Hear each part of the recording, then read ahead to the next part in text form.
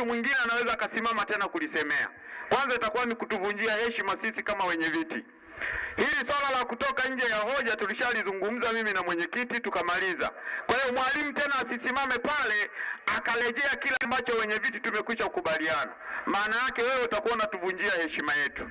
Nimesikitishwa sana na naomba walimu wasijaribu hilo. Likitokea tatizo tukalimaliza wenye viti, basi wao hawana haki tena ya kulizungumza. Hiyo ndiyo protocol. Kashasema rais kasema. Sasa wewe waziri ukibishana naye utakuwa na matatizo. Mwalimu Velan, Mwalimu Velan mwana wa Mushi, najua swali umelisikia na umelielewa, na ninakuomba ujibu swali tu lililoulizwa. Hayo mengine niachie mimi mwenyekiti. Asante. Bwana Yesu asifiwe. Bwana Yesu apewe sifa. Nashukuru mada imeweza kupelekwa katika muda ambao umekwenda kusikiwa na mwalimu amekwenda kufundisha mambo yote. Hakuna jambo ambalo aliwacha kubadilisha, hakuna jambo ambalo ameacha kulitumia. Lakini swali ambalo limeulizwa na ndugu yangu Shafii, anataka kujua kama ubatizo ni ondoleo la dhambi. Manake tayari umeshatambua ubatizo ni ondoleo la dhambi, tayari umeshatambua, lakini anataka kujua hao watoto wadogo wanaobatizwa wametenda dhambi gani, baada ya kuelewa mada husika iliyotangazwa kwenye vipeperushi. Nawapongeza sana. Bwana Yesu asifiwe. Manake ni hatua kubwa amepigwa kama ametambua ubatizo ni ondoleo la dhambi, lakini anauliza hao watoto wadogo wanaobatizwa wana dhambi gani? Ndio swali aliyoulizwa na majibu lazima yatolewe. Msomaji, E, nipo Matendo mbili thelathini na saba thelathini na nane tasoma kwa jina la Yesu, inasema ubarikiwe. walipoyasikia haya wakachoma mioyo yao, Walipoyasikia haya wakachomwa mioyo, wakamwambia Petro na mitume wengine, wakamwambia Petro, tutendeje ndugu zetu? tupendeje? Yani tutendeje ndugu zetu? Petro akawaambia, Petro akasema, tubuni mkabatizo kila mmoja. Tubuni mkabatizwe kila mmoja. Kwa ajili ya jina lake Yesu, kwa ajili ya jina lake Yesu, kwa jina lake Yesu, ndiyo. Mpate ondoleo la dhambi zenu, mpate ondoleo la dhambi zenu, nanyi mtapokea kipawa cha Roho Mtakatifu. nanyi mtapata kipawa cha Roho Mtakatifu. Kwa kuwa Ndiyo. ahadi hii ahadi hiyo. kwa ajili yenu sababu yenu. Na kwa watoto wenu. ya sehemu hiyo waelewe vizuri. Rudia tena sehemu hiyo ili Waislamu wapate kuelewa, Kwa kuwa ahadi hii. Kwa sababu ahadi hiyo. Kwa ajili yenu.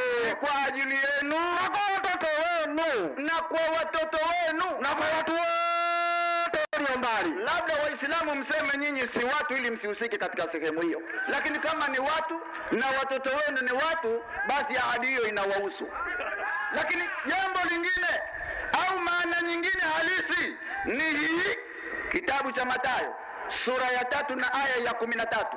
Nitasoma inasema, wakati Yesu akaja kutoa Galilaya mpaka Yordani kwa. Yohana ili abatizwe. ndio. Lakini Yohana alitaka kumzuia akisema, yesu yohana akataka kumzuia.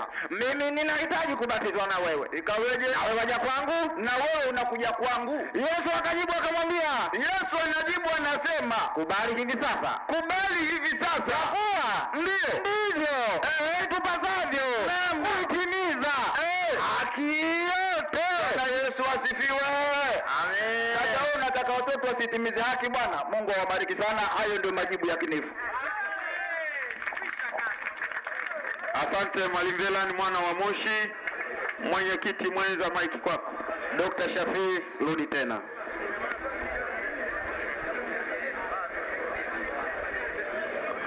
Waislam, takbir takbir. Nadhani mwalimu ana matatizo ya kujua Kiswahili. Angenifahamu mwanzo nilivyosema, singepata tabu aliyoipata. Nimetumia neno kama. Nini maana ya kama, rafiki yangu? Sijasema ubatizo unaondoa dhambi, nimesema kama. Tatizo shule nadhani. Nimesema neno kama, ndio maana nikasema tatizo Kiswahili kinapiga chenga. Alafu umetoa haya katika Paulo, watoto wadogo wanabatizwa. Jamani, mimi ndio nimeuliza swali kwa sababu najua watoto wadogo wanafanyaje, lakini wametenda dhambi gani? Kwa sababu ubatizo mnasema yaondolewa la nini? Kwa sababu anayebatizwa anaondolewa nini? Sasa mtoto mdogo katenda dhambi gani? We ni makini katika maswali ninayouliza. We kama uwezi unasema hilo bwana kwangu mzigo. Ezekieli kumi na nane ishirini. Naam, Ezekieli kumi na nane ishirini inasema mimi najua watoto wadogo mnawabatiza, ndio maana nikauliza swali. nanyi mnasema ubatizo ni ondoleo la dhambi, anayebatizwa anaondolewa dhambi. roho itendayo dhambi Andiko linasema roho itendayo dhambi ndiyo itakayokufa, hiyo ndiyo itakayokufa. Endelea. mwana hatauchukua uovu wa baba yake, Kwanza mtoto hachukui uovu wa baba yake, wala baba hatauchukua uovu wa mwanawe. wala baba hatobeba uovu wa mwanawe. Haki yake mwenye haki itakuwa juu yake. Kila mtu atakuwa juu yake, baba juu yake na mtoto juu yake. Swali langu liko pale pale, kumi na nane mbili matayo niulize swali. kumi na nane mbili Ah, Matayo. changamka medu Naam, kumi na nane mbili kitabu cha Matayo mtakatifu inasema eh, naam, kumi na nane mbili inasema inasemaje? ni nani basi aliye mkuu katika ufalme wa mbinguni? Yesu anasema ni nani basi aliye mkuu katika ufalme wa mbinguni? Akaita mtoto mmoja akamweka katikati yao, Yesu bado anaita mtoto kuelekeza mambo ya ufalme wa mbinguni eh? akasema, Akasema, amini nawaambia, amini nawaambia Wakristo, msipoongoka na kuwa kama vitoto hamtaingia kama katika ufalme wa mbinguni. kuongoka na kuwa kama vitoto hamtoingia katika ufalme wa mbinguni. Swali liko pale pale, kama ubatizo ondoleo la dhambi, watoto wadogo mnawabatiza wametenda dhambi gani? Samson Bulogi, Mwalimu Velan, mwana wa Moshi. Eh, sasa hivi ndo sasa hivi ndo umetembea kiinjilisti. Make mwinjilisti anatakiwa ende kwa spidi hiyo, kwamba ni mtu wa kazi. Mungu akuongoze kiinjilisti. Make mwinjilisti anatakiwa kwa spidi hiyo, kwamba ni mtu wa kazi. Mungu akuongoze. Dakika tano za majibu, karibu. Na habari hizo nishaandika wapi? sabini na mbili kumi na tatu kwanza, alafu nitoe majibu. Ili surati jini nasema Sura ya majini hiyo. nasi tulipo- tulipofikia uongofu tuliuamini, Nasi tulipousikia uongofu tuliuamini. Anza tena, watu wasikie vizuri. nasi Ndio tulipofikia uongofu tulipousikia uongofu tuliuamini. tuliuamini. Basi anayemwamini mola wake Aya inasema ndani ya Qur'ani, anayemwamini mola wake wala hataogopa kupunjwa hataogopa kupunjwa wala kutwikwa wala kubebeshwa, yani kubebeshwa dhambi za mtu mwingine. yani kubebeshwa dhambi za mtu mwingine, sharti asiwe na dhambi. Aya hii tayari ipo ndani ya Qur'ani. Wewe kumi na nane ishirini Ezekieli, ina maana unamkosoa Allah kwamba alisahau kuweka aya hiyo kwenye Qur'ani. Bwana Yesu asifiwe. Amen. Bwana Yesu asifiwe. Lakini lililoulizwa, Shafi anasema watoto wadogo wanabatizwa. Yesu amesema waacheni waje kwangu. Hawa watoto wadogo wana dhambi gani? Ndio anauliza swali lake. Lakini baada ya mwanzo kutambua amekubali ubatizo ni ondoleo la dhambi, sasa hivi amekuja kubadilisha. Sasa hivi amekuja kubadilisha, akasema "Ah, mimi sijasema, nilisema kama. Sasa hii ni tatizo kwa ndugu zetu Waislamu, lazima muwe na msimamo kwa kile mnachouliza. Lakini majibu niliyotoa awali, nilimwambia kwanza, kitabu cha Matendo ya Mitume sura ya pili na aya ya thelathini na saba jambo la kwanza anasema ahadi ya ubatizo ni kwenu nyinyi na watoto wenu. Lakini kuna jambo la mtu kubatizwa ambaye hana dhambi. Kwa mfano, Yesu amebatizwa bila dhambi. Amebatizwa kwa sababu gani? tatu kumi na tatu kitabu cha Mathayo, rudia tena. Wakati huo Yesu akaja kutoka Galilaya mpaka Yordani kwa Yohana ili abatizwe, Ndiyo, lakini Yohana alitaka kumzuia akisema, naam, naam, mimi? Eh, nahitaji kubatizwa na wewe, Ndio. Na wewe waja kwangu? Aha. Yesu akajibu akamwambia, Bwana Yesu anajibu kumwambia Yohana, kubali, kubali, kubali hivi sasa, kubali hivi sasa, kwa kuwa ndivyo itupasavyo kutimiza kutimiza haki yote. kutimiza haki yote. Kwa hiyo watoto wamebatizwa kwa sababu wametimiza haki yote. Hayo ndio majibu ya kinifu kwa mujibu wa aya. Hata Yesu amebatizwa ili kuitimiza haki yote. Waislamu, mjooni kwa Yesu mje kubatizwa ili muweze kutimiza haki yote. Bwana Yesu asifiwe. Amen. Bwana Yesu asifiwe. Amen. Bwana Yesu amebatizwa, yeye dhambi hana. Amebatizwa kwa sababu gani? Ili kutimiza haki yote, na watoto nao wamebatizwa ili kutimiza haki yote. Hayo ndivyo maandiko yanavyosema. Bwana Yesu asifiwe. Amen. Bwana Yesu asifiwe. Amen. Kwa hiyo majibu ya msingi ndio hayo. Kuna ubatizo wa ondoleo la dhambi na ubatizo wa kubatizwa kwa ajili ya kutimiza haki yote. Bwana Yesu asifiwe. Asanteni.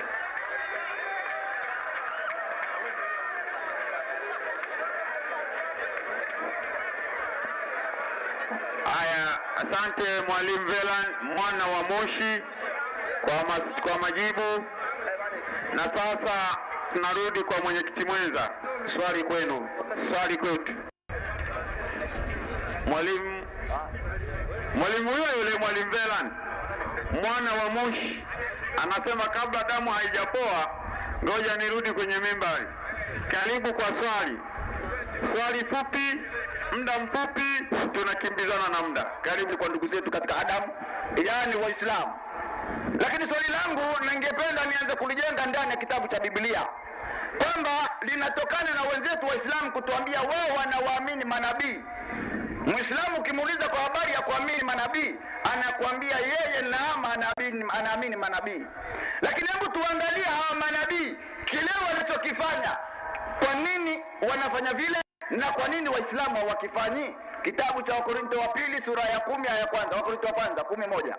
Wakorinto wa kwanza kumi moja ndani ya Biblia takatifu, yani kitabu cha Mungu. Ubarikiwe. Wakorinto wa kwanza kumi moja nitasoma kwa jina la Yesu, inasema kwa maana ndugu zangu, sipendi mkose kufahamu Ndiyo, ya kuwa baba zetu walikuwa wote chini ya wingu, baba zetu walikuwa wote chini ya wingu, wote wakapita kati ya bahari, wote wakapita kati ya bahari, wote wakabatizwa, wote wakabatizwa, wawe wa Musa katika wingu. Wawe wa Musa katika wingu. Na katika bahari, na katika bahari, wote wakala chakula kile kile cha roho, na wote wakala chakula kile kile cha roho. Huyo ni mmoja kati ya manabii ambao wanazungumzwa ndani ya maandiko hayo.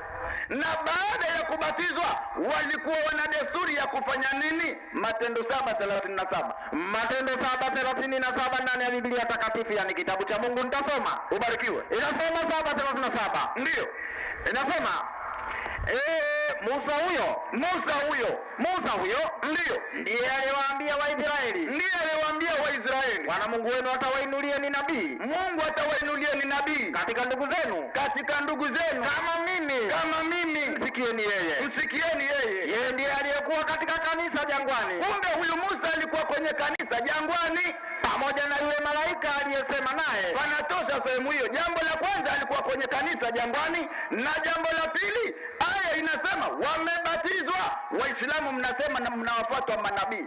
Nini kinachokuzuieni msibatizwe kama nabii Musa alivyobatizwa? Hilo ndo swali langu.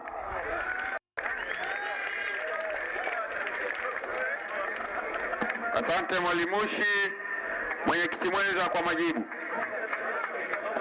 Haya, Imani Petro. Ustazi Imani Petro mwana wa Kefa, dakika tano za majibu. Takbir. Waislam, takbir. Tumswalieni Mtume. Swali lake namwomba Mwenyezi Mungu anijalie aniongoze nimjibu vizuri. Katoa aya ya Wakorinto. Wakorinto ni bwana Paulo, yeye kaja kusimamia Waislamu wanawaamini manabii. Waislamu hawamwamini manabii au mtume Paulo. Tunafuta kwanza hiyo. Yeye kasema manabii Waislamu wanawaamini. Mmoja wa manabii Musa, Paulo anasema wakati Musa anapita katika bahari alipoipiga ikajitenga, wao watu wakabatizwa. Maneno hayo Paulo anayachomeka ndugu zetu wa Kristo wajue Paulo alipovuka na wana wa Israeli pale kwenda Misri kutoka utumwani wamebatizwa. Tena Musa alikuwa kanisani. Kwa mujibu ya Biblia, kanisa sio jengo, kanisa ni watu na ni mkusanyiko wa watu. Kanisa sio jengo. Kwanza A. B anasema Musa akabatizwa. Musa hawezi akabatizwa kwa sababu Musa ni Muislamu na yeye mwenyewe ni Muislamu. Muislamu hawezi akabatizwa. Kwa nini hawezi akabatizwa? Msomaji hapo kumi na tano ishirini na moja Matendo ya Mitume Naam, kumi na tano ishirini na moja hawezi akabatizwa. Naam, ndio kumi na tano ishirini na moja kitabu cha Matendo ya Mitume inasema inasemaje? Eh, kwa maana kwa maana tangu zamani za kale ndiyo Musa Musa anaowatuhubiria mambo yake ndiyo katika kila mji ndiyo husomwa kila sabato katika masinagogi. Musa na watu wake huisoma kila sabato katika masinagogi. Nini sinagogi? Tunafuta kwanza Sinagogi eh, ni msikiti, misikiti ya Wayahudi. Simama, anayebatizwa kwa mujibu wa Mkristo anasali wapi? Kanisani. Musa kama kabatizwa vipi na watu wake wasali msikitini? Tunafuta. Takbir! Hapo tunafuta. Usimuongopee Musa, alikuwa Mkristo kabatizwa. Paulo anaongopa jamii ya watu imsikie, lakini Paulo tumuulize, wewe Paulo ni mtume? wa Korinto wa kwanza kumi na tano tisa namwongopea Mungu hapa na sisi wote tuliokusanyika hapa. Inasema inasemaje? Maana maana mimi ni mdogo katika mitume, ndio nisiyestahili kuitwa mtume.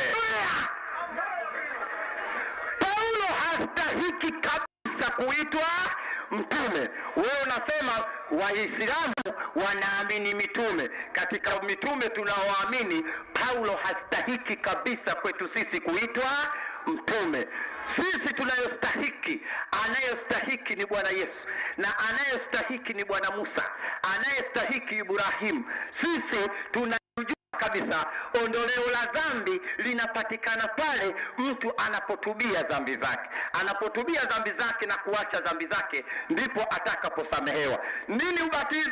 Wamefundisha walimu na wamefundisha kwa mapana na marefu. Kwa hiyo usituongopee hapa kwamba Musa na watu wake na wengineo walikuwa Wakristo kwa mujibu wa Wakorinto. Hastahiki huyu mtu kuitwa mtume, na wala usimwambie Mwislamu Paulo anamwamini kuwa mtume ili kwa kigezo hicho sisi tubatize neva, Na wanaobatizwa sharti wana dhambi. Swali linakuja, Yesu, Musa, nani watabatizwa vipi wakati wao hawana dhambi? Yani hapa mtueleze, na wala leo tujue kwa misingi gani nyinyi mnabatizwa. Na Mungu anasema Mungu anasema roho itendayo dhambi ndiyo itakayokufa. Kwa hiyo hapa Waislamu na Wakristo mpate kuelewa, nabii wa Mungu hatumwamini Paulo sisi katika maisha yetu. Salamu. Haya, Samson Buregi. Aya, asante mwalimu na mwalimu kwa majibu. Swali la nyongeza, swali dogo na fupi. Mwalimu Damiani Kakalala Moses mwana wa Ndimbo, karibu kwa swali la nyongeza.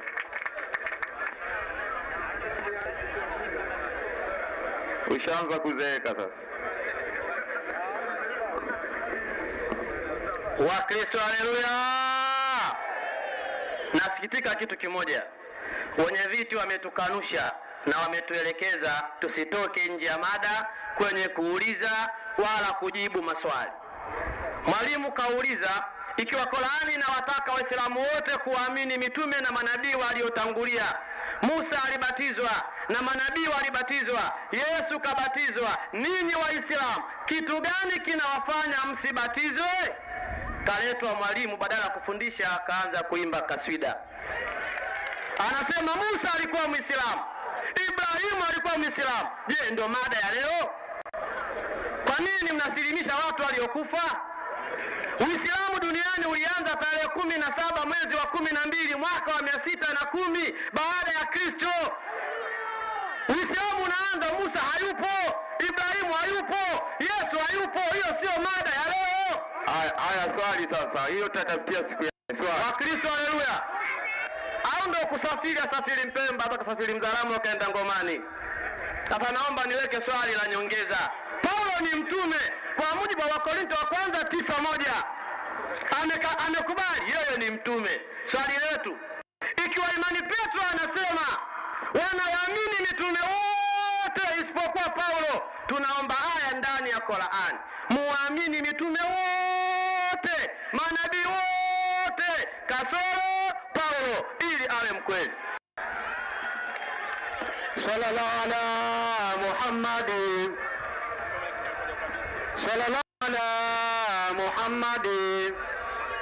Takbiri Waislamu, kunja ngumi, kohoa kidogo, kohoa kidogo, tikisa ngumi, takbir! Ustazi Mkumba. Ah, sasa mwenyekiti, mwalimu wangu hajamaliza ni kukabidhi, naona sijui imekuwaje, lakini hapa tuko pamoja tu. Asante sana, basi endelea. Waislamu takbir, takbir! Tatizo shule. Haya maneno hatuachi kusema. Lau kama wenzetu wangesoma wasingekuja hapa kupata tabu.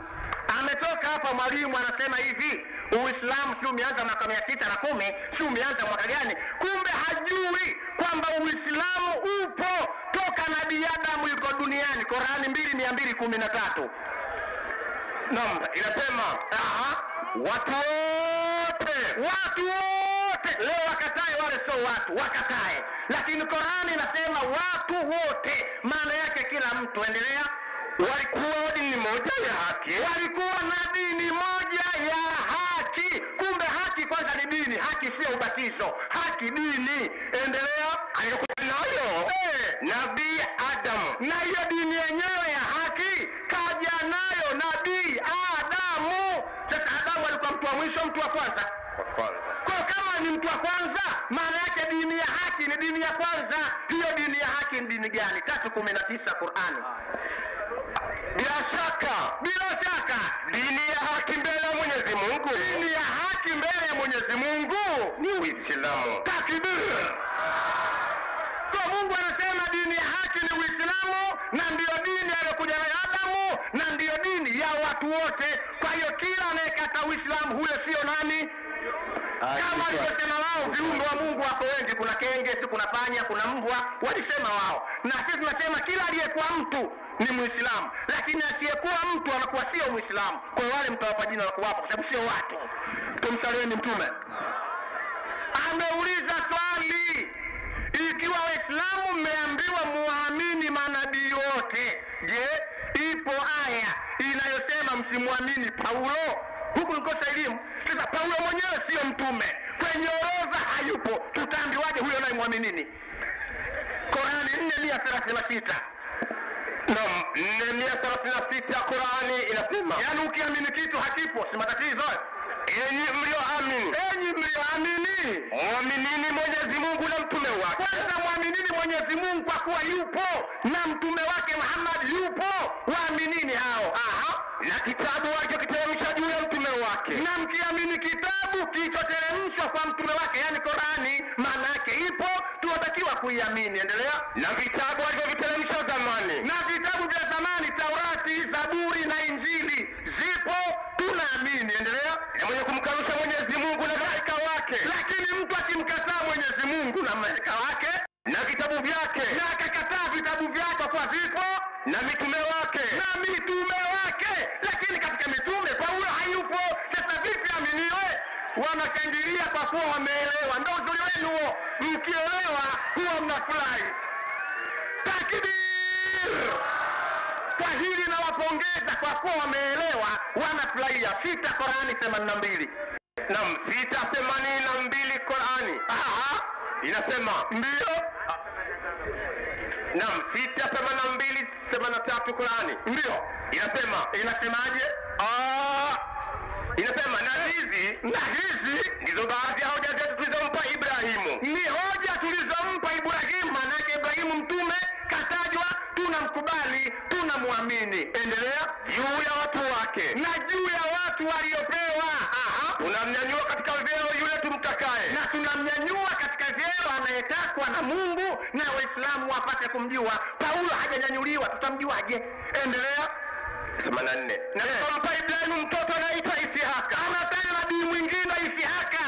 Yupo tunamwamini muislamu mwenzetu na imamu hana tabu. Endelea. na Yakubu. Na yakubu aliyezaa watoto kumi na mbili mpaka yesu kapatikana. Muislamu mwenzetu tunamwamini hatuna tabu. Endelea. Na Isihaka. Na isihaka tena hana tabu. Tunamkubali. Aha. na Nuhu. Na nuhu hatuna shida. Tunamkubali. Aha. na katika kizazi chake Nuhu tuliwaongoa Daudi. Na daudi nabii wa mungu huyo muislamu mwenzetu hatuna shaka. Na. Suleimani. Na pia mwingine nao tunawakubali hawana shaka endelea. Na Ayubu. Na ayubu. Na Yusufu. Na yusufu anakubalika. Na Musa. Na musa anakubalika. Na Haruni. Na haruni anakubalika. Huyo paulo yuko wapi ili tumwamini?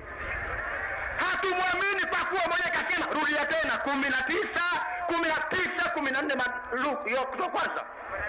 Kumi na tano tisa irudie tena. Ah, inasema ndio, maana paulo anasema mwenyewe maana mimi ni mdogo katika mitume nisiyestahili kuitwa mtume. Takbir haya haya mwenyewe hataki kuitwa mtume. Muda umeisha. Salamu alaikum muda umeisha mwalimu. Kuna kitu ambacho nimejifunza kutoka kwa ndugu zetu. Wakiwa wanatufahamisha kwamba ubatizo ni ondoleo la dhambi. Lakini wakati huo nimestaajabu na mmoja katika wazungumzaji kuwa ametoa kitabu cha warumi sura ya nane aya ya kwanza kisha akaisahau rumi nane kumi msomaji na nane kumi rumi. Nane kumi Rumi inasema mm-hmm. na Kristo akiwa ndani yenu ndiyo. mwili wenu umekufa kwa sababu ya dhambi. Simama. haya ni maneno anayazungumza paulo mtume kwa wakristo kwamba kama kristo akiwa ndani yenu mwili wenu umekufa kwa sababu ya dhambi. Lakini wakati huo mmebatizwa ili mwondolewe dhambi baada ya kuondolewa dhambi kristo yuko ndani yenu mwili wenu umekufa kwa sababu ya dhambi. Wakati huo huo mnatuambia kwamba yesu amekuja ili nyinyi muondolewe dhambi. Yesu huyo huyo mnaamini alibatizwa. Mathayo kumi na moja thelathini yesu anasema nira yangu ni laini mzigo wangu ni mwepesi. Maana yake mzigo anao na mzigo ni dhambi. Lakini mzigo wake ni mwepesi. Dhambi anazo lakini zipo chache. Na kubatizwa kwa batizwa. Hizi dhambi zimetoka wapi? Sasa swali linakuja. Swali swali swali ikiwa ubatizo kweli ni ondoleo la dhambi sita tano galatia. Hilo ndo swali linasimama hapo. Inasema kwa maana aha, kila mtu atalichukua furushi lake yeye mwenyewe. Kila mtu atachukua furushi lake mwenyewe. Na mmebatizwa ili muondolewe dhambi. Sasa dhambi gani ambazo kila mtu atazichukua mwenyewe na ni dhambi gani mliondolewa kwa njia ya ubatizo? Salamu alaikum samson bwegi mwalimu damian kakalala moses chimemena mwana wa ndimbo. Karibu kwa majibu na neema ya mungu iwe pamoja nao. Nasisitiza jibu kama ni fupi sio lazima umalize dakika tano. Tunaokoa muda. Karibu mwalimu. Asante sana mwenyekiti kwa kunipa upendeleo kuja kujibu swali hili dhaifu lililoulizwa na rafiki yangu Ostaz ambaye ametoka hapa muda si mrefu. Tuna kazi nyingi sana ya kufanya, na kazi ya kwanza ni kufundisha watu Biblia. Biblia sio gazeti, haipaswi kusoma tu ka mstari kamoja alafu unajenga hoja kubwa kama mlima Kilimanjaro wataka kuupanda kwa dakika mbili. Hebu soma Rumi nane tano. Rumi nane tano ndani ya Biblia takatifu nitasoma, inasema? Naam, Rumi nane tano inasema? Ndio. Kwa maana ndio. wale waufuatao mwili huyafikiri mambo ya mwili, wewe mwili hufikiria mambo ya mwili, bali wale waifuatao roho ndiyo. huyafikiri mambo ya roho. Kwa nini? Kwa kuwa nia ya mwili ni mauti, Nia ya mwili ni mauti. bali nia ya roho ni uzima na amani. Ndiyo Paulo alikusudia hivyo kwamba mwili huu, hata Yesu alisema mwili haufai kitu. Nia ya mwili ni mauti, nia ya roho ni uzima milele. Mwili wako utakufa, utapata mauti. Ukiwa ndani ya Kristo Yesu, roho yako inahuishwa, unakwenda kupata uzima wa milele na ili uhuishwe lazima ubatizwe, uzaliwe mara ya pili katika maji na katika Roho Mtakatifu. Paulo aliposema kwenye Galatia kila mtu atachukua furushi lake mwenyewe. Hakuwa na maana furushi kwa maana ya dhambi. Wakristo, haleluya! Na anaposema mzigo ni dhambi, hebu tuulize Qur'an, mzigo ni nini? Qur'ani saba mia hamsini na saba. Saba mia hamsini na saba ndani ya Qurani inasema. Ndio. Inasema? Eh. saba mia hamsini na saba. Inasema Allah anamfuata mtume nabii aliye ummi. Naam, asiyejua kusoma wala kuandika. Ndio. Na juu ya hivi atafundisha mafundisho hayo ya ajabu ya Uislamu. Ambayo wanamuona ameandikwa kwao katika Taurati na Injili ambaye anawaamrisha mema na anawakataza yaliyo mabaya ndio na kuwaharamishia vizuri na kuwaharamishia vibaya Maliza. na kuwaondolea mizigo yao na kuwaondolea mizigo yao. Je, Muhammad kaja kuwaondolea watu dhambi zao au mizigo ni nini kwa mujibu wa Qurani? Maliza. Kuondolea mizigo yao Yani na minyororo iliyokuwa juu yao maana yake ni yani Eh. sheria ngumu za zamani na mila za kikafiri Wakristo, haleluya. Kibiblia mzigo maana yake sheria ngumu za zamani. Yesu alikuwa anawaambia kwenye Torati imeandikwa hivi, mimi nawaambia fanyeni hivi. Kwenye Torati imeandikwa hivi, mimi nawaambia fanyeni hivi. Sheria za Yesu ni za rohoni, ni nyepesi, sio ngumu kama za zamani za Torati, zilikuwa zina utawala mwili. Ndio maana Yesu akasema, mjitie nira yangu mjifunze kwangu, mimi ni mpole mnyenyekevu wa moyo, mzigo wangu ni mwepesi. Hakuwa na maana ya dhambi yangu ni nyepesi. Yesu hakuwa na dhambi, bali sheria zake ni nyepesi. Kama Qurani imesema uongo, rudia, inasema rudia Qurani. ambao wanamfuata mtume nabii aliyeumia asiyejua kusoma wala kuandika Muhammad hakujua kusoma wala kuandika, hilo liko bayana kwa kila Mwislamu. na juu ya hivi atafundisha mafundisho hayo ya ajabu ya Uislamu Ndio, ambaye mnamwona ameandikwa kwao katika Taurati na Injili. Ndio, ambaye anawaamrisha mema na anawakataza yaliyo mabaya. Ndio, na kuwahalalishia vizuri na kuwaharamishia vibaya. Ndio. na kuwaondolea mizigo. Eh. mizigo yao. Ndio, na minyororo. Ndio. iliyokuwa juu yao yani Eh. sheria ngumu za zamani. Na nini? na mila za kikafiri. Wakristo, haleluya! Sasa wewe njoo ushindane na Qurani, useme mizigo sio sheria ngumu, mizigo ni dhambi. Njoo ipinge Qurani, na Muislamu akiipinga Qurani anaitwaje? ishirini na tano hamsini na tano Qurani ishirini na tano hamsini na tano Korani Nataka na shehe wangu aliotoka hapa. ishirini na tano hamsini na tano Korani inasema. Hamsini na tano ndani ya Qur'ani.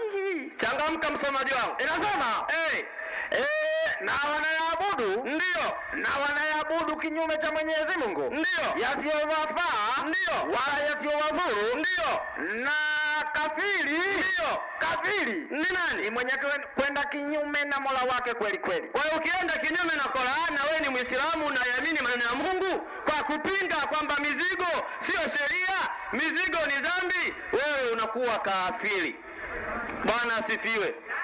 Kwa kwa kifupi, ndugu zangu wa Kristo, ili uende mbinguni lazima ubatizwe katika maji na katika Roho Mtakatifu, lazima ubatizwe, ndipo unafika mbinguni. Yoyote asiyebatizwa na kumwamini Yesu fi na hata toka humo kamwe, atakaa motoni milele. Bwana asifiwe. Mungu awabariki. Asanteni kwa kunisikiliza. Asante mwalimu Damiani Kakalala Moses mwana wa Ndimbo. Sasa hivi nafikisha hata manne, yale saba bado. Mwenyekiti mwenza, kama kuna swali la nyongeza. haya Abdalla Rajab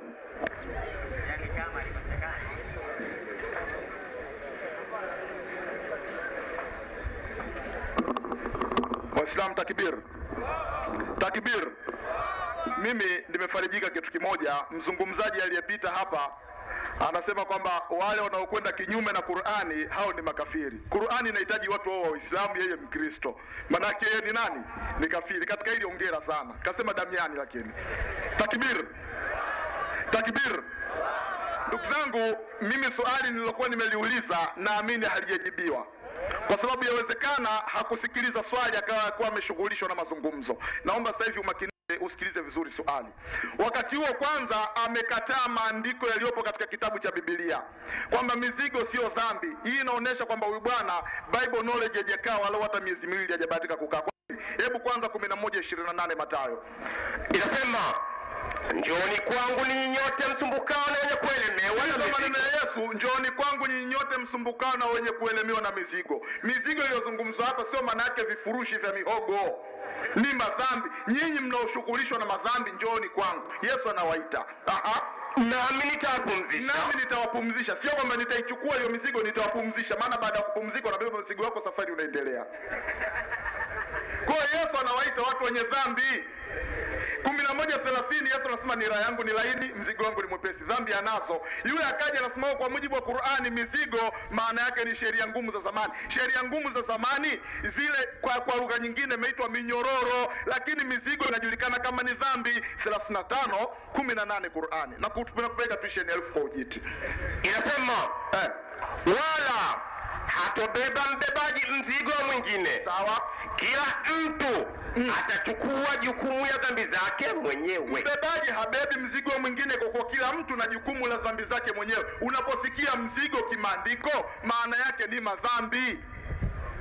Sasa nyinyi mnapotangaza mmebatizwa, mmeondolewa dhambi, tunastaajabu. Nyinyi mmebatizwa, lakini waraka wa kwanza wa Yohana moja nane hamuoni? inasema tukisema kwamba hatuna dhambi Ndiyo eh, twajidanganya sisi wenyewe kumbe nyinyi kubatizwa, mmebatizwa. Mkisema dhambi hamna, nyinyi mnajidanganya. Ni uongo mtupu kutangaza nyinyi hamna dhambi wakati mmebatizwa, uongo mtupu. Sasa suali, sasa suali, dhambi gani? Galatia sita tano, kila mtu atachukua furushi yake mwenyewe. Dhambi gani mmeondoshwa katika ubatizo? Nyinyi nyote si mmebatizwa? Dhambi gani mliondoshewa kwa njia ya ubatizo, na dhambi gani kila mtu atachukua mwenyewe? Hilo ndo swali langu la nyongeza, na swali langu la msingi lipo hapo hapo. Salamu alaikum. Samson Bulegi. Mwalimu Damian yeye Kakalala mwana wa Ndimbo, huyu anaitwa Ndimbo Junior kwa ufupi, yani yani kufupisha yale majina yote unaita tu Ndimbo Junior. Karibu mwalimu, na neema na Mungu iwe pamoja nao. Wakristo, haleluya! Kwanza nimechanganyikiwa na kitu kimoja, nimechanganyikiwa shehe alivyokuja, bado anazidi kuikanusha Qur'an. Shangilieni na hapo, Wakristo, haleluya! Hivi nani atakwenda motoni kwa dhambi za dada yake? Kwa Paulo yuko sahihi, kila aliyetenda dhambi kama wewe unavyokusudia. Wakristo, haleluya! Takbir! Wakristo, haleluya! Sisi wana michezo tuna pasi zinaitwa tangulia kaningoja. Unawatanguliza wakifurahi, unawatuliza. saba mia hamsini na saba Qur'an. Shangilieni hiyo sasa, saba mia hamsini na saba ndani ya Qur'ani. Hiyo tangulia kaningoja, hiyo kosi hiyo. Shangilia hiyo, soma saba mia hamsini na saba inasema. Wewe umekuja kuipinga hii aya, wewe kafiri tu. Soma ambao wanamfuata mtume nabii aliyeumi asiyejua kusoma wala kuandika, ndio, na juu ya hivi atafundisha mafundisho hayo ya ajabu ya Uislamu, ndio, ambaye wanamuona ameandikwa kwao katika Taurati na Injili, ambaye ndio, anawaamrisha mema na anawakataza yaliyo mabaya, ndio, na kuwahalalishia vizuri na kuwaharamishia vibaya, ndio. na kuwaondolea mizigo yao. Anaondolea mizigo yao. Na minyororo yao. Minyororo yao. Iliyokuwa juu yao, iliyokuwa juu yao, yani yani dhambi, yani nini? sharia ngumu za zamani. Wakristo, haleluya! Mizigo ni sheria ngumu, sio dhambi. Je, Yesu unasemaje?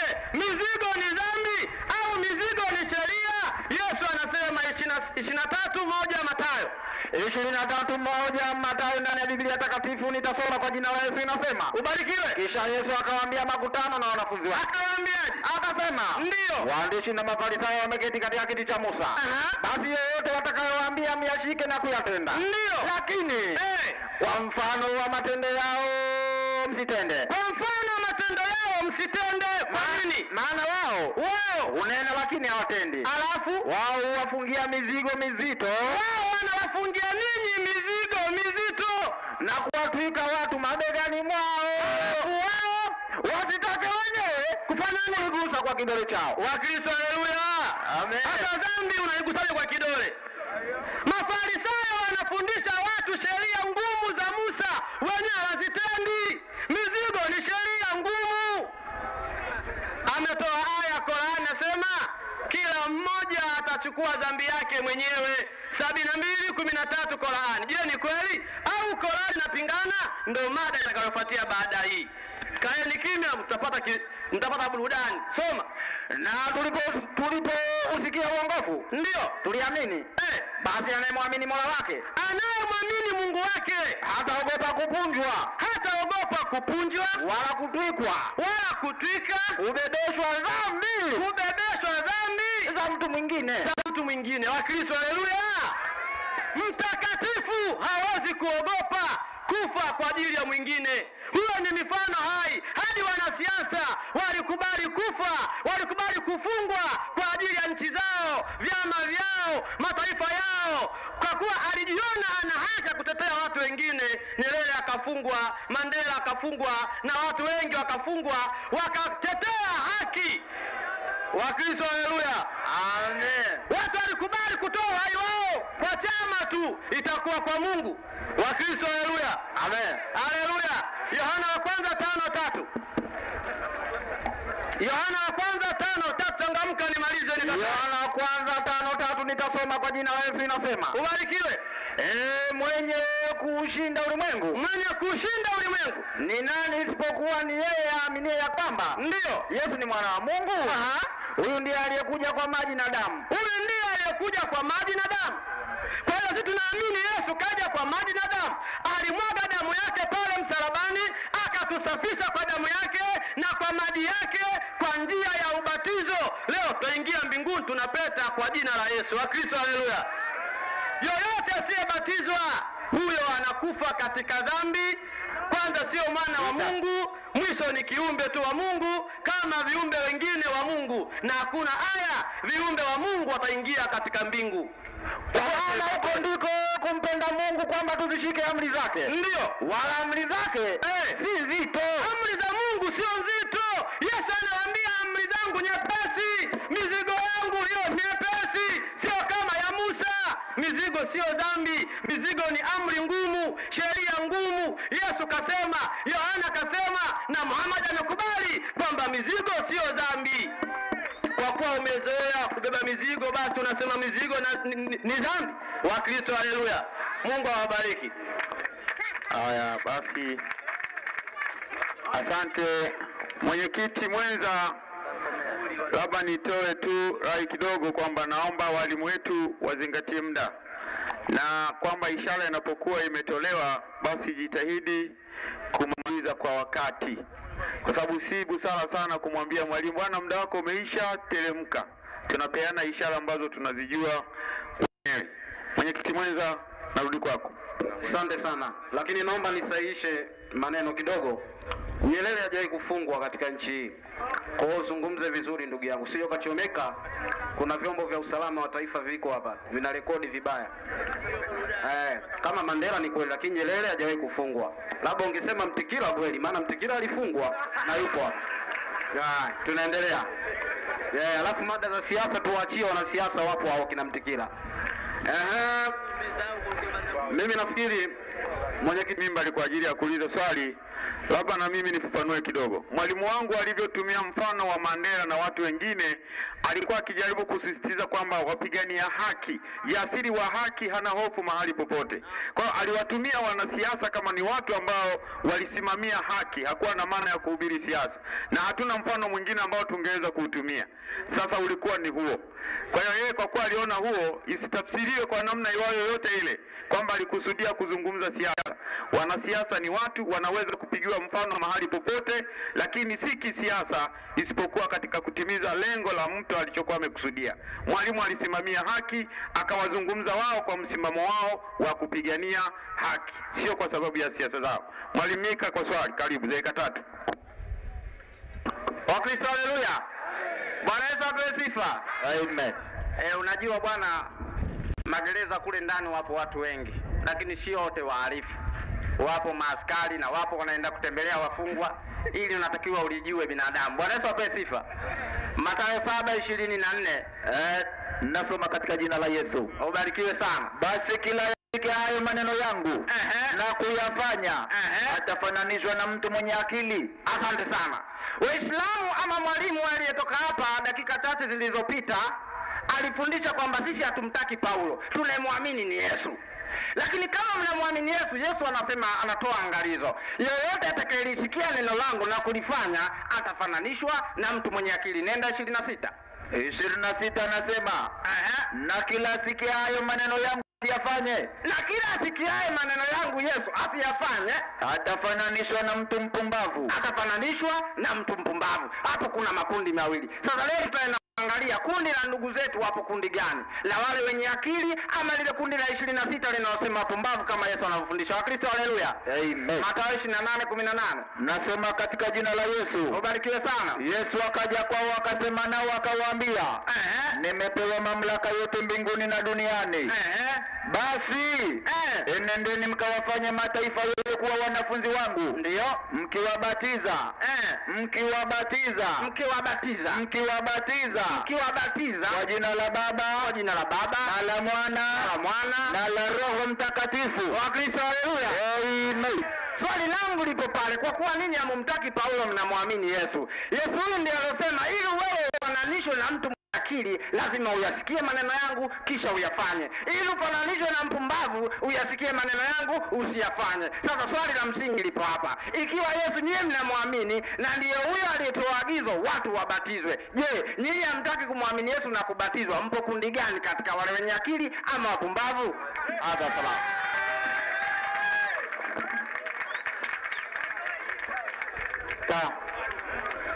Haya, mwenyekiti mwenza, mwalimu wangu kamaliza kuuliza swali, lakini naomba naomba hawa watu wanaotengeneza mstari wa kututenganisha, tuna mawasiliano hapa na mwenyekiti mwenzangu mengine ambayo nyinyi hamyaoni. Kwa hiyo ningeomba hapa, aliye na nia njema basi apite mle ndani kabisa akae, lakini hapa naomba tuonane uso kwa uso na, na jukwaa kuu lote lile ikiwezekana lakini kwa mwenyekiti mwenzangu sawa, kwa sababu tuna mawasiliano mengine ambayo kwa kweli nyinyi hamuoni, lakini sisi tunajua nini.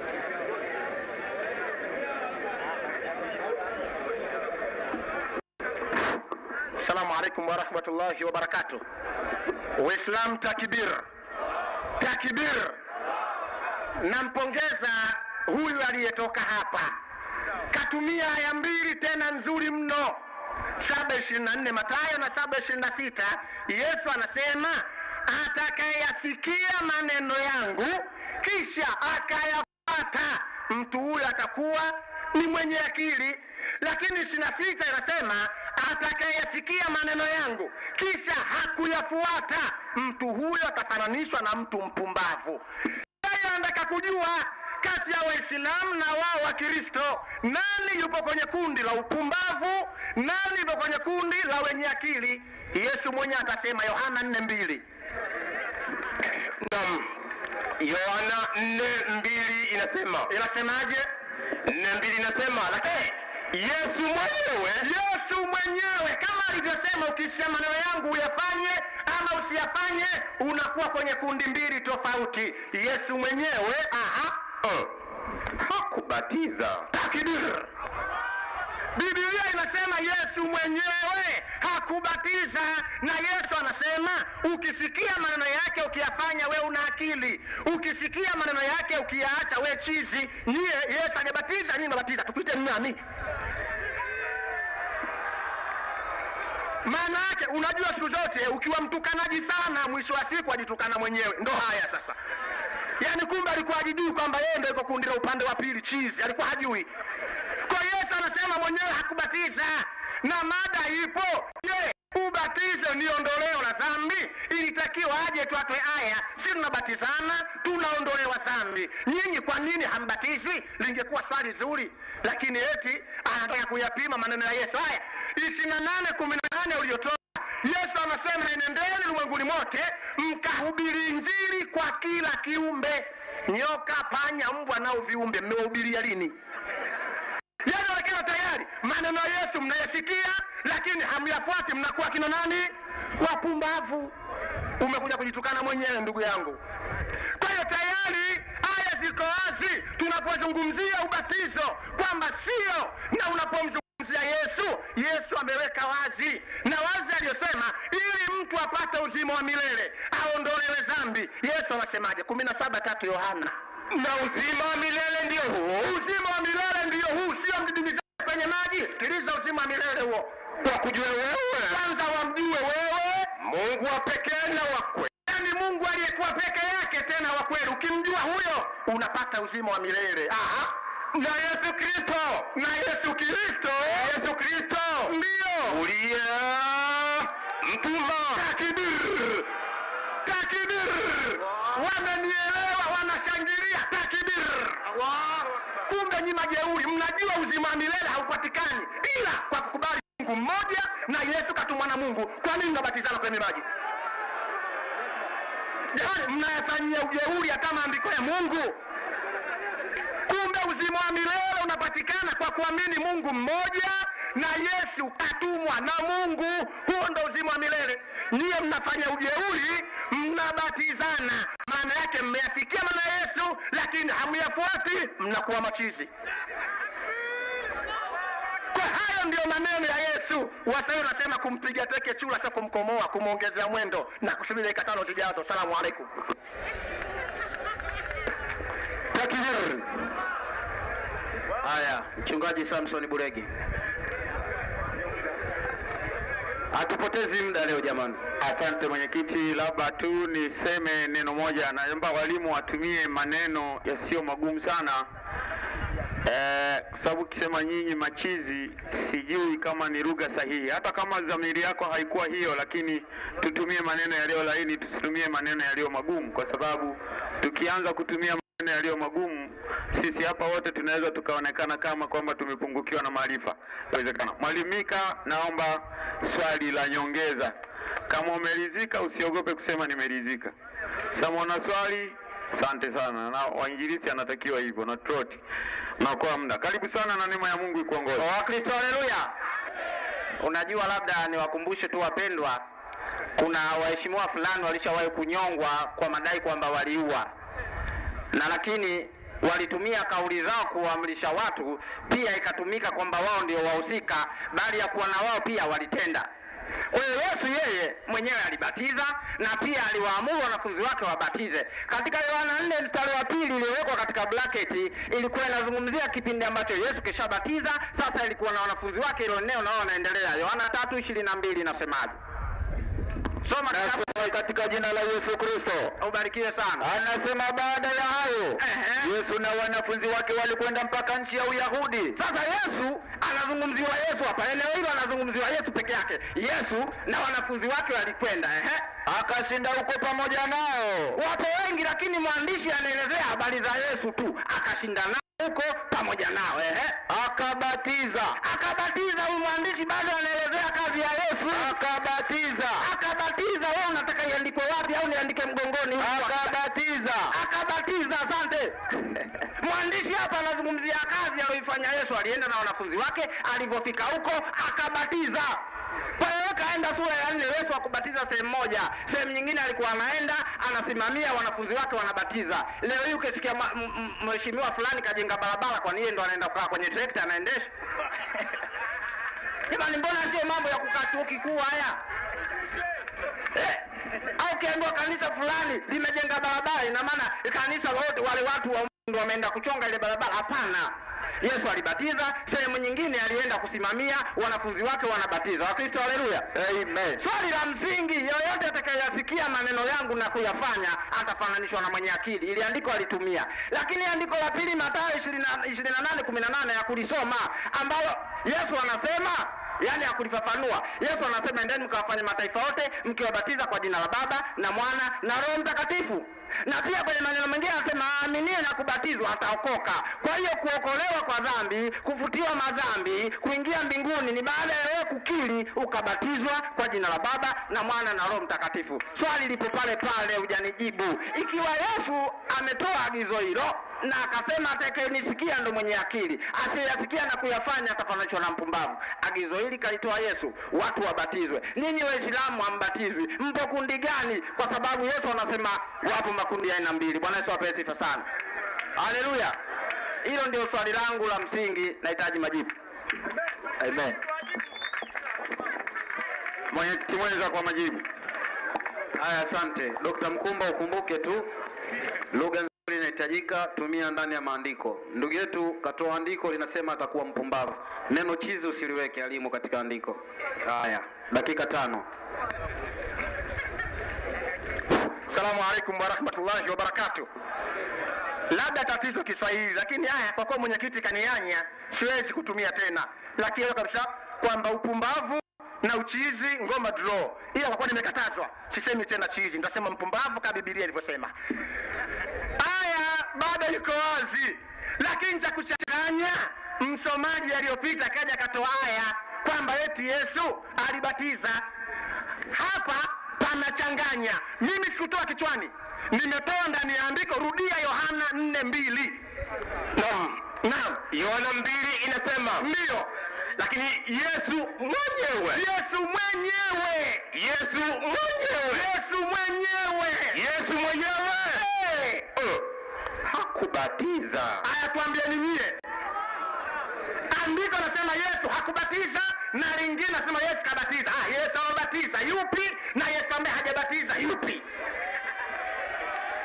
Ni matatizo. Kumbe inaonekana Wakristo wenzetu wana Yesu wengi. Kuna Yesu mwingine kazi yake kubatiza, Yesu mwingine kubatiza hajui. Sasa sijui wanamfuata Yesu gani, sijajua. Takbir, Allahu akbar, sijajua. Lakini kwa sababu nyinyi ndio wafuataji, tuko pale pale. Yesu anasema atakayesikia maneno yangu na kuyafuata huyo atafananishwa na mtu mwenye akili, lakini mwenye kusikia maneno yangu kisha asiyafanye atafananishwa na mtu mpumbavu. Leo tunamtafuta mpumbavu uwanja huu nani? Rudia 28 18 Mathayo aliyotoa Yesu akaja kwao akasema nao akawaambia, haya ni maneno ya Yesu. Kaja mwenyewe akasema, akasemaje? Nimepewa mamlaka yote mbinguni na duniani. Kwanza kapewa mamlaka, hajajipa, maana yupo mwenye uwezo kuliko yeye. Kapewa mamlaka mbinguni na duniani. Endelea basi. Hey, enendeni mkawafanye mataifa yote kuwa wanafunzi. Nendeni mkawafanye mataifa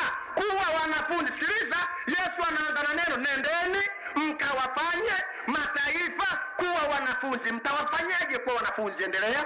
Mkiwabatiza kwa jina la Baba na Mwana na Roho Mtakatifu. Muwabatize kwa jina la Baba, kwa jina la Mwana na Roho Mtakatifu. Yesu anasema hao watakaobatizwa, jambo la kwanza wahubiriwe, wakishahubiriwa wabatizwe. Wabatizwe vipi? Kwa jina la Baba, kwa jina la Mwana na kwa jina la Roho Mtakatifu. yani ili mtu abatizwe, kwanza amjue Mungu mmoja, amjue Yesu katumwa na Mungu, kisha amjue Roho Mtakatifu kamfanyia kazi Yesu. Wao leo kwa kuwa hawataki kufuata maneno ya Yesu, baada ya kuwafundisha watu Mungu, wanawatumbukiza kwenye maji. Sio upumbavu huo? Yesu hajasema kawafanyeni wanafunzi kwa kuwabatiza kwenye maji, hakusema. Alichosema mkawafanye mataifa kwa wanafunzi kwa kuwabatiza kwa jina la Baba, la Mwana na Roho Mtakatifu. Baba nani? Maana yake Mungu. Ajiliwe Mungu kwanza, kisha mtu amkubali. Mnapotiana kwenye maji, nani kawambia? Maana yake mmeyasikia maneno ya Yesu lakini hamkuyafuata, mnakuwa wapumbavu. Hiyo ndio maneno ya Yesu. Tunarejea pale pale, Yesu anasema uzima wa milele unapatikana katika njia moja tu, kubatizwa. Hakumtoi mtu kutoka kwenye dhambi. nane ishirini na moja Yohana nane ishirini na moja kitabu cha Yohana inasema ndio. Ah, nane ishirini na moja inasema Yesu akasema, akasemaje? Mimi naondoka, mimi naondoka, nanyi mtanitafuta, ninyi mtanitafuta sana nyie. Nani? Na nyinyi, nani? Na nyinyi, nani? Na nyinyi mtakufa katika dhambi zenu, mtakufa na midhambi yenu nyie. Takbir! Allahu akbar! lazima mfe na midhambi kwa sababu mmedumbukizana kwenye maji kumjua Mungu. Dhambi mali yenu, na kwa sababu hiyo ndio maana Paulo akasema Rumi nane kumi. Rudia tena Rumi nane kumi nasema, inasemaje? Kristo akiwa ndani yenu, kama Kristo iko ndani yenu nyie kwa kutiana kwenye mimaji, basi mwili wenu umekufa kwa sababu ya dhambi. Basi nyote mna mizambi nyie wote, hakuna mzima hata mmoja, wote mna mizambi na kwa kuwa mna mizambi lazima mwende motoni. ndio maana Yohana akasema, wala wa kwanza Yohana moja Haya, inatosha hilo andiko. Liweke bahati yenu. Salamu alaykum. Njoo maji kwanza, maana naona sauti imekukauka ndugu yangu. Haya, mwenyekiti mwenza, tusameane, maana alizidisha dakika moja. Samson Bulege, endelea. Asante. E, na sio vizuri mtu akisha kutoa andiko alafu ukalikatiza. Ile hilo la pili ulikuwa sahihi kwa sababu ilikuwa haijasomwa. Ah, nadhani sasa ratiba yetu inavyotuonyesha tulikuwa tumepanga tuwe na maswali matatu matatu kwa kila upande kwa kila mada, lakini nadhani sasa kwa sababu tulikuwa tuko nje sana ya ratiba, sasa tunaingia kwenye hatua ya kusikia nasaha kutoka kwa wageni wetu ambao wamepangwa kwa ajili ya kutoa nasaha kwa pande zote mbili. Kila mgeni atakuwa na dakika ishirini za kuzungumza ujumbe ambao ameuleta kwa ajili ya haraki hii. Baada ya dakika hizo, tunaingia kwenye mada ya pili ambayo inasema, Wakristo wanauliza, je, Qur'ani ni maneno ya nani? Qur'ani ni maneno ya nani? Kwa hiyo ndugu, usiondoke, tukae tusikie nasaha. Mahali popote watu mnapokusanyika, lazima kuwe na watu wasemaji wa kuona mambo gani yanaendelea na nini kinafanyika. Mimi na mwenyekiti mwenzangu, kazi yetu ni kuongoza kikao. Alafu naomba, napewa taarifa kwamba kuna wachungaji wengine wako huku. Naomba viti hivi ni kwa ajili ya watumishi. Mchungaji, njoo kaa huku, kuna viti vya vya wachungaji na maaskofu huku tuliviandaa. Alafu nitaomba vijana wa Kikristo, yule tu anayejiona kijana, ukimwona tu kwamba mchungaji wangu yule ni mchungaji. Kila aliye mchungaji mchungaji wako, kila aliye mchungaji ni mchungaji wako. Mpe nafasi, mpe heshima yake, apate kukaa. Eh, mchungaji mchungaji Kalenge, tunakuhitaji meza kuu. Najua unawapenda hata Wakristo walioko huko, lakini tunakuhitaji meza kuu kwa ajili ya mawili matatu. Mwenyekiti mwenza, narudi kwako kwa ajili ya nasaha zinazoendelea dakika ishirini, kisha tutarejea kwetu. Eh, tunarudi kwako mchungaji. Nafikiri Mtikila ndo atakuwa anaanza kama tulivyokubaliana, atumie dakika zake ishirini, zikifika agongewe kama kawaida. Sawa, sasa sijui nisemeje hapa, kwa sababu najua mnaweza mkakubaliana, lakini kwa makosa. Ah, inaniwia ngumu mwenyeji ku, mgeni kuanza kutoa hotuba kabla ya mwenyeji, kwa sababu mwenyeji anayemkaribisha mtu ndiye hutangulia kusema. Hiyo ndiyo protocol. Kama tulikubaliana kimakosa, nadhani tulitambue hilo kosa, kwamba protocol inamtaka mwenyeji aseme na baadaye mgeni naye aje kusema. Sasa mchungaji, mimi nafikiri tulishakubaliana tusiuvunje utaratibu wetu. Mtikila tu aanze kama tulivyokubaliana, azungumze na mambo ya dini, tusiyaingize zaidi kwenye protocol za kisiasa. Aha. Na kwa sababu sisi ndio wenye mkutano, tulishaanza mada ya kwanza. Atakapoanza manake wa kwenu nyinyi, wa kwetu anakuja kumaliza mada ya pili, anaanza wa kwenu nyinyi, wa kwetu anakuja kumaliza. Ndivyo utaratibu unavyoenda. Kwa hivyo twende kama protocol ilivyoenda, kwa sababu na hiyo ni moja ya mada ambazo zimo zimepangwa katika ratiba. Au Mtikila amekuja kinyume na mada nyingine? Eh, ni mchungaji naye wa kanisa, kwa tumpe azungumze dakika zake, ana haki azungumze. Mtikila, kwa upande wetu sisi ni taarifa itatolewa ya kiwanja kama tulivyozungumza, hatuna mada nyingine. E, sijui nilisemeje, lakini mimi nilichokuwa nasisitiza ni kwamba protocol haiwezi kubadilika. Basi mchungaji, kama tutashindwa Hapana, ngoja tu nimalize. Wala hatubishani mimi na wewe, tunajaribu ku, kueleza ile hali halisi kwamba protocol haiwezi kubatilishwa na maamuzi yasiyoendana na protocol, kwamba mimi na wewe kama tulikubaliana kinyume cha, cha protocol inavyotaka, maana yake inakuwa batili. Unajua, mtu anaweza akakuwa anaweza akakuhukumu wewe kufa, lakini wewe bado katiba inakwambia una haki ya kuishi. Sasa nini kizingatiwe, haki ya kuishi au ufe? Ndio maana tunao wengi sana magerezani hawanyongwi kwa sababu wana haki ya kuishi. Sasa anyway, tujitahidi tu kwenda hivyo kwamba hatubishani na hapa tunazungumza masuala ya dini. Protocol tuliikosea, wakati mwingine tuta tutairejea. Basi mimi ningeomba tu mwanze, au unasemaje mwenyekiti mwenza? Basi naomba mchungaji, sijui kwa sababu kule sasa hatuna jukwaa la kusemea kwa sababu ya jua. Kuna mtu mwenye mwamvuli pengine atusaidie au asemee hapa. Yeye anasema yuko huru hata kule tu, naomba tu mwenye mwamvuli atusaidie. Kijana Damian mwongoze mchungaji Christopher Mtikila. Tusaidieni mwamvuli, tunaomba mama mmoja atusaidie mwamvuli, mpeni kitikati. Kwa kweli tunabarikiwa sana tunapokuwa na wachungaji wa namna hii.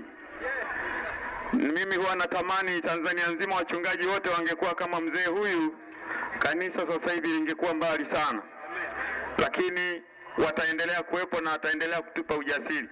E, nitamke tu kwamba nakukaribisha rasmi mchungaji Christopher Mtikila kwa ajili ya nasaha ya mawili matatu juu ya mambo yetu haya ambayo tumekuwa tukiendesha kwa muda mrefu tukipata mapingamizi makubwa. Sasa na wewe umeweka juu sana sasa mpaka bado jua linampiga. Haya, karibu sana baba mchungaji, na neema ya Mungu iwe pamoja nawe. Naomba mwache maiki. Asante. Haleluya, amen. Haleluya, amen.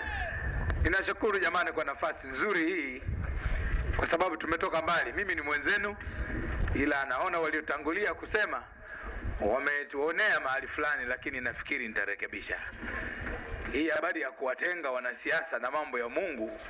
mnaoonea sana, hata na mimi mnanitenga na mimi mwenzenu. Jamani, hilo tutalitengeneza kidogo, ila tu kwanza nawashukuru mlioanza. Mi nilichelewa kidogo kwa sababu ya majukumu ni mengi kwa ajili yetu sisi wenyewe, na mada ni nzuri, ila niongeze kidogo kwa habari ya ubatizo. Ubatizo ni neno ambalo katika Biblia ya Kiingereza ya Kiswahili litafsiriwa kutoka katika Biblia ya Kiingereza. Mwaka 1611 mpaka 12, mfalme wa Uingereza aliamuru mfalme James kwamba anataka Biblia hii isiyo kwa lugha ya Kiyunani na Kiaramaiki tu. Akaita wataalamu wake wa lugha ya Kiingereza watafsiri kwa, kwa usahihi kwa lugha ya Kiingereza. Ndio maana ile Biblia asilia inaitwa ya mfalme James, King James. Sasa kwa Kiyunani neno la ubatizo ni baptismus, maana yake kuzamishwa au kufunikwa au kuvikwa. Katika Wagalatia sura ya tatu mstari wa ishirini na saba neno la Mungu linasema, na wale wote waliobatizwa katika Kristo Yesu wamemvaa Kristo, yaani wako ndani yake Yesu Kristo. Ndio maana mbatizaji mkuu ni Yesu Kristo, na pia Mathayo sura ya tatu mstari wa kumi na moja yule aliyeleta ubatizo hapa duniani aliyetumwa kuleta ubatizo kwamba awabatize watu katika mto Jordan ili amdhihirishe amtambulishe Kristo kwa Israeli na ulimwengu. Kwa hiyo wabatize tu mpaka siku moja itakapokuja yeye mwenyewe Yesu akishatoka katika maji, Roho Mtakatifu atashuka juu yake kama hua, asema huyo ndio mwana kondoo wa Mungu. Mtangaze sasa kwa Israeli kwamba tazama mwana kondoo wa Mungu na kuendelea.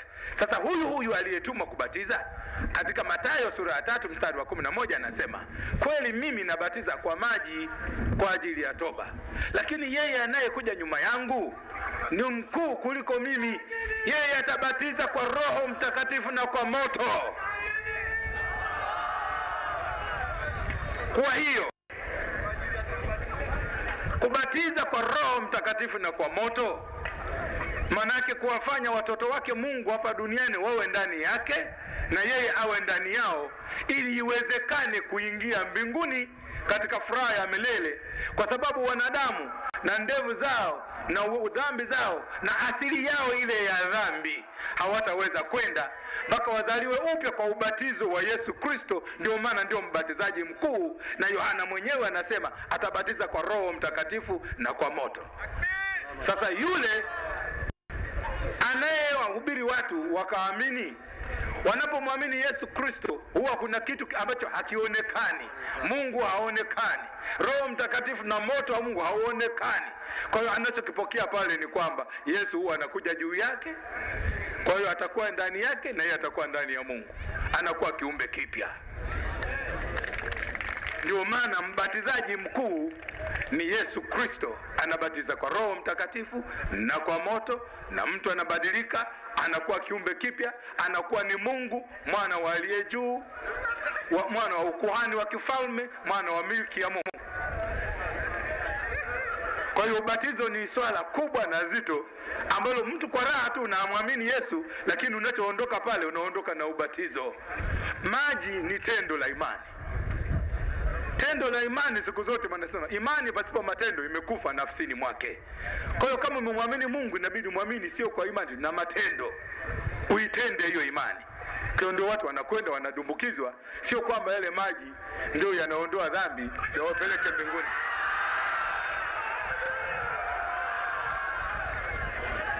Sijui kama umenipata vizuri, lakini ili ufaidi vizuri, ushangilie zaidi, naomba twende hatua moja mbele ya maana ya ubatizo wa maji.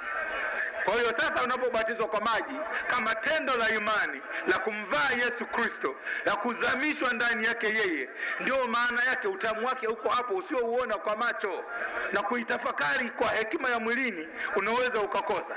Watu wao wanatoka katika maji wamebatizwa, wakitoka pale wanazungumza lugha ambazo hazieleweki kwa njia ya kibinadamu, kwa sababu ya kile kitu kimetendeka kwa tendo lile la imani. Kwa hiyo ubatizo ni kitu cha muhimu sana, mpaka kwanza uwe umepondeka, umevunjika. Ukishaingia kabisa na nguo zako, ukaingia ukabatizwa, ukatoka pale, Mungu anayo sababu ya kukupatia ile thawabu inayotokana na ubatizo wa hayo maji. Kwa hiyo usifikirie sana habari ya maji. Ukifikiria unatamani kuingia mbinguni katika ufalme wa Mungu, unataka kumjua Mungu wa pekee wa kweli na Yesu Kristo, basi hutakwepa ubatizo wa maji mengi, kwa sababu ndio tendo la imani lililo na kibali mbele za Mungu.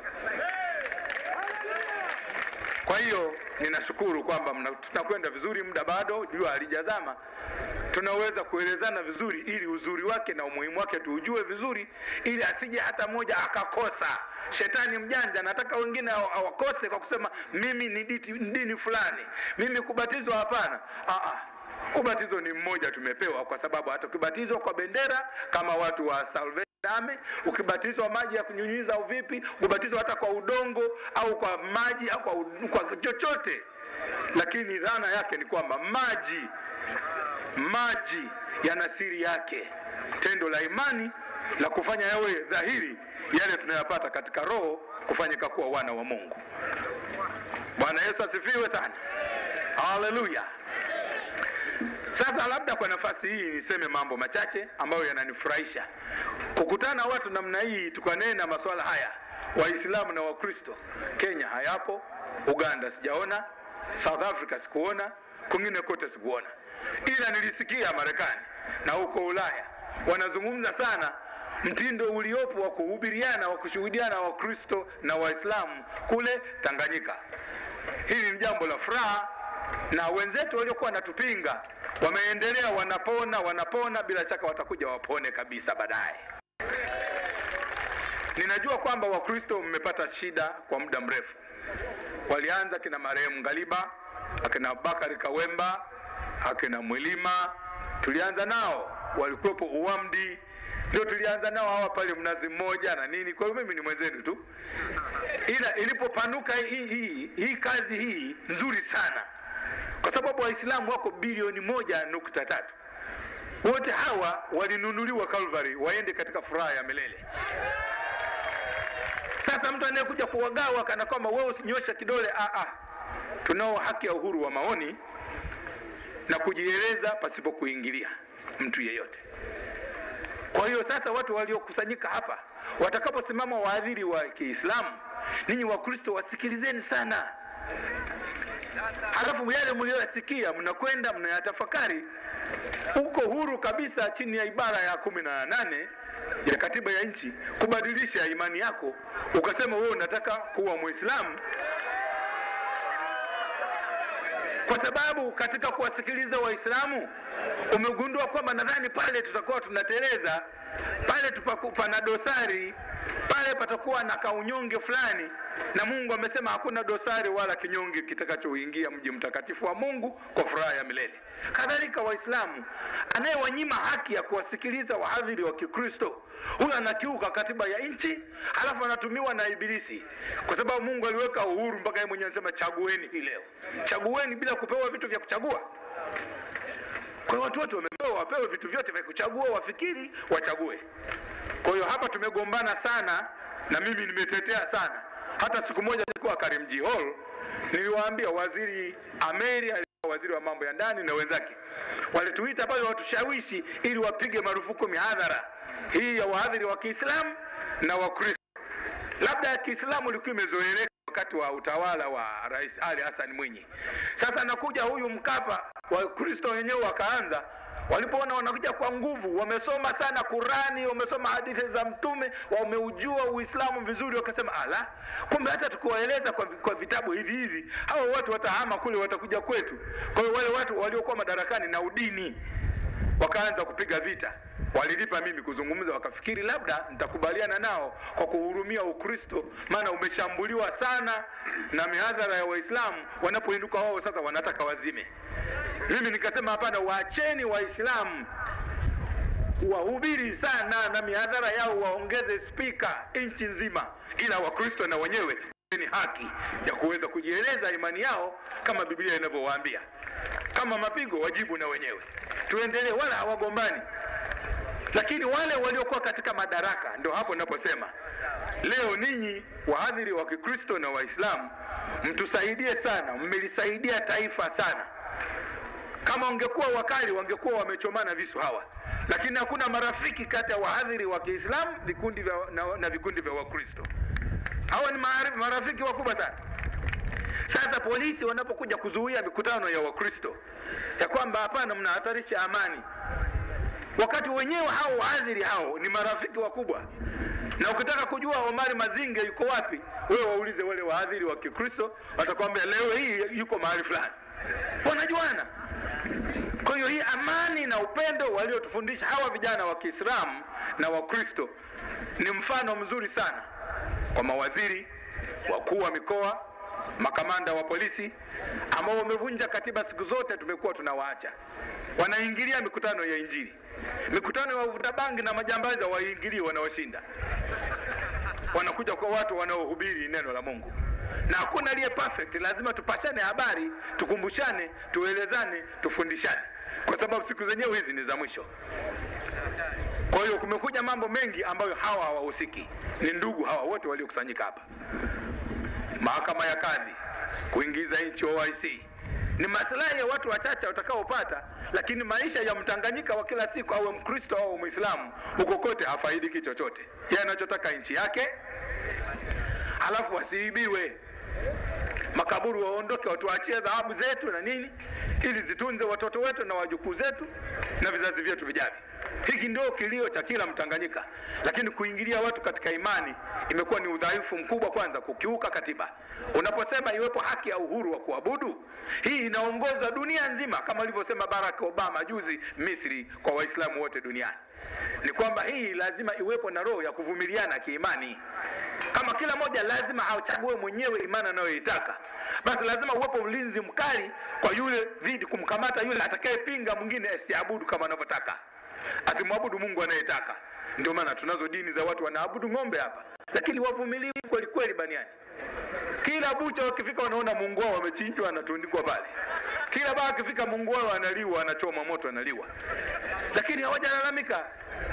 Polisi hawakamati hawakana kwamba kuna malalamiko hapa Watanzania wengine wa kiasia kwamba ninyi mnakula Mungu wao, kwa sababu ni huru duniani kote. Hivyo mtu anaweza kaamua kuabudu mbuzi, ni haki yake. Wakileta mkutano Biafra hapa kwa sababu na mbuzi wao wakawapanga hapa, wanawapigia magoti, wanawaabudu. Ukiwaingilia pale, sheria ya nchi yetu inasema ufungwe miezi sita, umeingilia ibada ya watu. Ila akifika nyumbani kwangu mimi, huyu anayeabudu mbuzi akakuta mimi tunakula ubwabwa na mbuzi pale safi, akienda polisi kunishtaki kana kwamba nimemkuta mchungaji Mtikila anakula Mungu wetu, polisi hawapasi kunikamata, wanapaswa kumsaidia kana kwamba ni sawa kabisa, mbuzi ni Mungu wako, ila kwa yule bwana yule ni mboga. Kwa uhuru huo tuwe nao. Kwa hiyo siasa msiifukuze, siasa ndiyo inayolinda haki yenu ninyi ya msingi katika nchi yetu. Lazima mtukubali, na sisi ni wa muhimu kwa ajili ya imani zenu. Na ila leo nataka niseme kitu kimoja, hata nikiondoka, mkitafakari vizuri kwenye midahalo mingine, mweze kuangalia nchi yetu iko mahali pabaya. Nchi yetu iko mahali pabaya, inakwenda pabaya na inaharibika nchi yetu kwa sababu ya watu viongozi wa dini wa nchi hii. Swala la amani katika nchi na swala la haki katika nchi na swala la kuhakikisha kwamba nchi hii waliopewa na Mungu, hata ungekuwa walala hoi namna gani, waishi kwa furaha, wawe na sababu ya kumshukuru Mungu wao usiku na mchana. Kazi hii sio ya watu wa siasa, sio ya vyama, sio ya CCM, sio ya DP, kwa sababu la haki na la amani ni la Mungu. Mungu ndiye tawalaye juu ya falme zote za wanadamu, mtake msitake. Mkikataa ninyi Mungu asitawale katika nchi yenu, na anasema kabisa katika Torati mnayoyaamini wote Waislamu na Wakristo, sura ya kumi na saba mstari wa kumi na nne mpaka ishirini mtakapotaka kumtawaza mtu awe kiongozi, awe rais, awe mfalme katika nchi yenu, anatoa Mungu masharti matatu. Kwanza, mtawazeni yule ni chaguo la Mungu wenu kwa sifa safi za usafi za utakatifu kwa Mungu uka, Mungu akakubali akatembea na wewe, tunazijua wote katika Qurani na katika Biblia. Ya pili, msimtawaze mgeni, mtawazeni mmoja kati ya ndugu zenu, maana taifa ni familia moja kubwa. Lakini ni hapa mmezoea, mtawapa makaburu, vinono vyote mtawapa wageni, alafu ninyi mnateseka. Kwa hiyo hata mkifa, watu wa nchi hii, mbinguni hamtaweza kuingia kwa sababu Mungu hana sehemu ya kuweka majitu mapumbafu kule nchini kule mbinguni. Kwa hiyo mmekosea, lazima hilo mwangalie, ni kazi yenu, lazima mtamke ninyi, lazima mashehe, maimamu, wachungaji, maaskofu, mapadri, muwe tayari ninyi kulala keko na nini kwa ajili ya kutetea hawa, ndipo Mungu atakuwa na sababu ya kushuka na kuonekana katika nchi hii na kuwabariki na kuwaneemesha sio wanakomba madhahabu yote wanaachia maandaki ambayo mtasikia tu mvua zimenyesha kali, wamezama watu kwenye maandaki. Na alichimba? walichukua makaburu hapa, wamehamisha kila kitu, wakatuachia maandaki. Kwa hiyo mkifa motoni.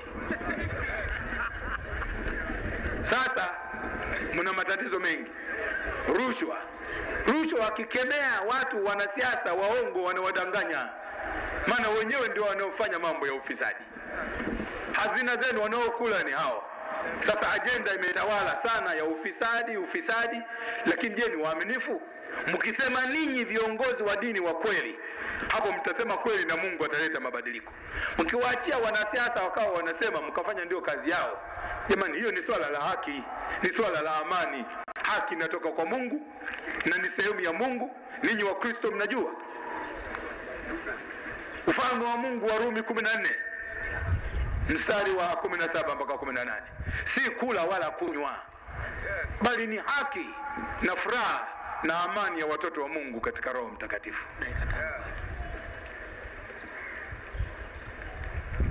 Kwa hiyo maswala haya ni ya viongozi, mna kazi kubwa, mtusaidie miadhara hii kila mtakapokwenda kuwapasha habari watu wa nchi hii, kwa sababu imefika pabaya. Mnadanganywa sana watu wa nchi hii, na mtu mwongo akija ndio mnampokea na kumshangilia. Mtu akija kuwaambieni ukweli, yule mtamchukia na kumsema mabaya. Hili tunaomba mtusaidie, kwa sababu sasa hii mihadhara hii ya kidini imekuwa ndio faraja ya watu wengi, kwa sababu hawawezi kwenda kuogelea, kwa sababu hawawezi kumiliki shamba akaenda na nini, wanakuja kwa sababu hawana kingine cha kufanya, imebakia ni Mungu tu. Lakini utawala, Mungu atawala juu ya falme zote za wanadamu, tumpe nafasi. Ninajua kana kwamba swala la mahakama ya kadhi na OIC sasa halitasemwa mpaka baada ya uchaguzi mkuu, kwa sababu likizungumzwa sasa hivi Wakristo wote hawataweza kumpa kura Jakaya Kikwete. Haleluya! Hilo linajulikana. Haya, wengine wanataka kuja kutawala, watatembea na ajenda ya mafisadi, ufisadi, ufisadi, ufisadi, kwa sababu ninyi mnasimama katika mimbari, hamuwaambii hawa kondoo kwamba hawa waongo. Ufisadi tumezungumza, mwende mkawaambie wasiwachague watu kwa kudanganywa. Watu wameshaanza. Juzi tulikuwa pale Hotel Travertine na umoja wa Wakristo Tanzania, tukatoa tamko kali sana, tulimlani sana Rostam Aziz kwa sababu alikwenda mahali fulani Kinondoni, sio ilikuwa wapi hilo kanisa la Kiluteri, akatoa milioni saba. Alipopewa shukurani, alisalimu kanisa, akazungumza mambo yao, vita vya bungeni kule juu ya ufisadi. Sema la yaani, huyu kwa milioni saba anataka sasa kanisa limbariki liwe kama mwavuli wake huu ulinde mashitaka yake mbele ya bunge la nchi la ufisadi. Tulilaani sana. Askofu mkuu wa Kiluteri akatoa tamko la uongozi wa kanisa la Kiluteri nchini kumlaani yule bwana kwamba kutoa sadaka ni vyema, lakini kwa ajili ili upate nguvu katika kanisa ya kulinda machafu yako, hii ni makosa makubwa. Sasa swala tunajiuliza, badala ya kuzungumza mkabishana sana habari ya ubatizo, afadhali msikilize sana mambo haya ya Mungu, halafu myazungumze haya. Mtu anapoingia katika kanisa anatoa milioni mia tatu akishatoa milioni mia tatu ndio hapo hapo anasimama